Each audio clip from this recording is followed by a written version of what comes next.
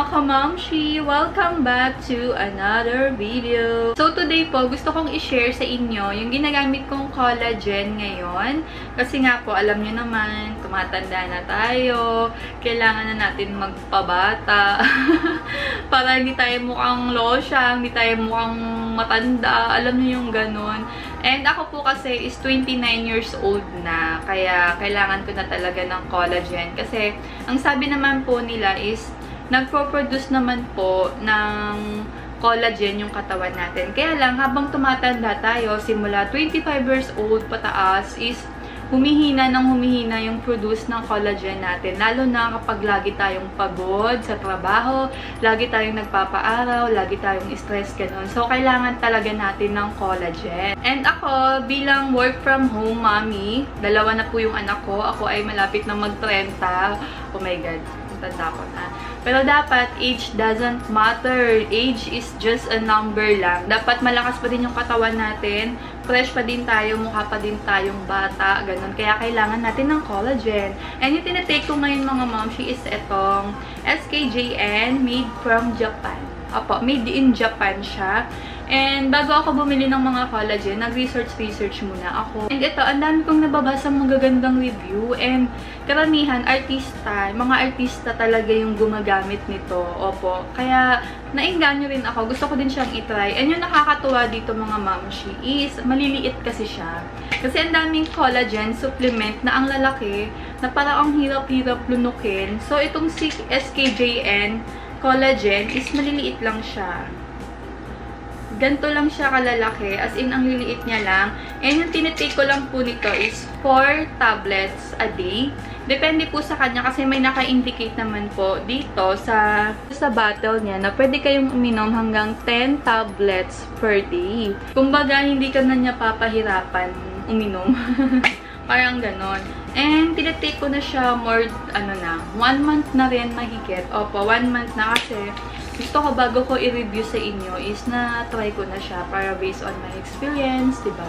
Kung ano yung experience ko dito. And so far ha, sa experience ko naman mga mamshi, minsan kasi lagi akong puyat, lalo na pag sobrang busy ako sa trabaho, ganyan. Minsan yung balat ko, minsan feeling ko yung eyebag ko malaki, bagsak yung eyebag ko, parang dry yung balat ko. Pero simula nung tinake ko siya, so far, napapansin ko ngayon sa mukha ko kahit lagi akong puyat. Ewan ko, yung mga tao rin sa dito, yung mga tao rin dito sinasabi nga nila na nag-glow daw ako, ganyan. And talagang panatag din ako dito sa SKJN kasi made in Japan siya. Tsaka may official store sila sa Shopee and pwede nyo din i-check yung social media accounts nila. Kasi ang dami-dami nang lumalabas ngayon, di ba, ng mga collagen supplement online. So, parang nakaka nakakatakot naman mag-take, 'di ba, sa iba ng mga kung ano-ano lang. And hindi po siya pwede sa mga pregnant, sa mga padede mom, sa mga lactating, nagpa, nagpapa-breast milk. Hindi po siya pwede mga mamshi ha. And hindi rin siya pwede sa mga may ano sa health, may maintenance, ganyan-ganyan. Hindi din po siya pwede. Mas better magpa-check up muna kayo kung pwede kayong mag-take ng collagen. And meron pa akong papakita sa inyo. Itong SKJN Instaglow Aqua Gel. Once a week ko lang siyang ginagamit kasi yun lang din talaga yung naka-attach na recommend dito na once a week mo lang siyang gagamitin. And ang ganda nito kasi, kasi nag-e-exfoliate siya ng balat natin, ng skin. And alam niyo yung after niyo siyang gamitin, parang ang smooth talaga. As in, parang baby yung dati. Hindi ko alam, pero pag wala kasi akong makeup mga mamshi, parang alam niyo yun, ang kinang, ang glow, na parang baby yung ano. Basta ganun yung effect niya sa akin.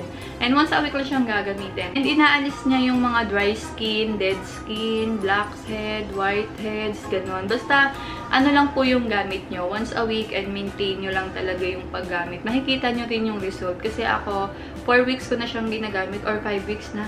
Opo. As in, bet ko yung ano niya sa akin, yung effect niya sa akin. And ilalagay ko lang po sa description box yung links nila nitong dalawang SKJN Collagen and SKJN Instaglow Aqua Gel.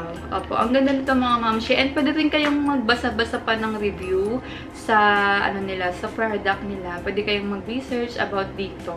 And maganda rin yung collagen mga mamshi sa kuko, sa buhok. Kasi dati, nung ano, naglalagas talaga yung buhok ko, lalo na pag stress ako, opo. As in, pinapost ko yan sa ano ko, 'di ba na grabe yung lagas ng buhok ko, isang ganun lang, ang dami-dami. Pero so far, simula nung nag-take na ako ng collagen, nabawasan na. Tsaka natakot din ako kasi nga, baka magnipis yung buhok ko.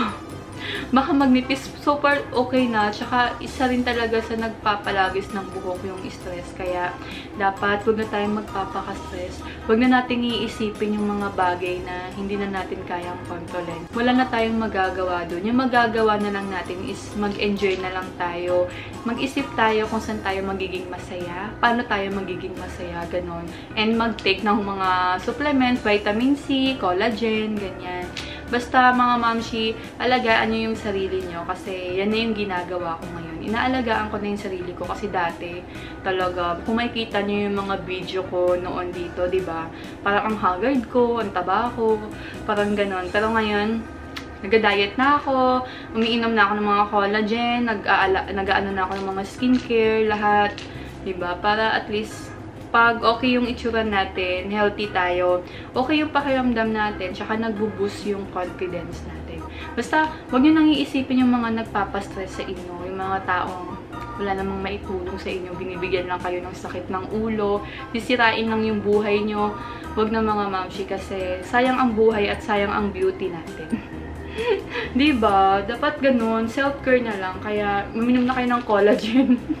Inom lang kayo ng collagen, ng mga vitamins na yung tingin nyo kung ano yung kailangan nyo. Tsaka, huwag tayong magpapalagay ng mga wrinkles, wrinkles, ganyan, di ba? Ako malapit na ako mag-30 mga mamshi, pero yun na nga, nag start na ako mag-take ng collagen, ng mga vitamin C, lahat, detox, diet, everything.